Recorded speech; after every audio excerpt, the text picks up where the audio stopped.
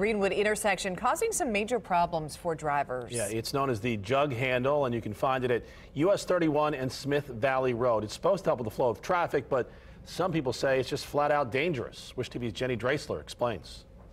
It's a mess. I wish they would redo it. We were about to hit the, another car. Nearly three months after the city of Greenwood installed a jug handle loop at the intersection of Smith Valley Road and US 31. Every day I'm almost late to work. This place is a mess. Like you can't make right turns coming from that way. You can't have left turns coming from over here.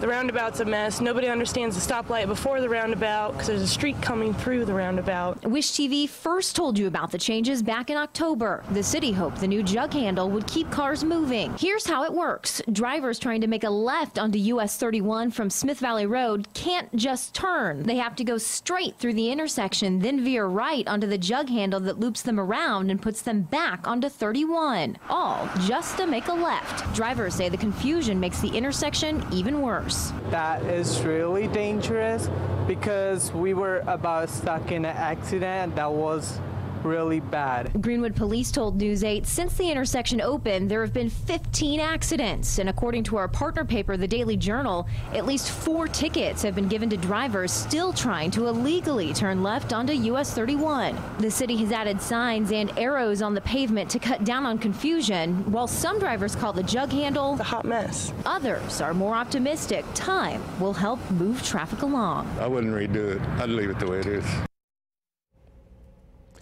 And News 8 reached out to the Greenwood City engineer. We have not heard back. But according to our partner paper, the Daily Journal, the city says if there are still issues, it will consider installing no left turn word markings actually onto the pavement. Those changes would have to wait, though, until spring.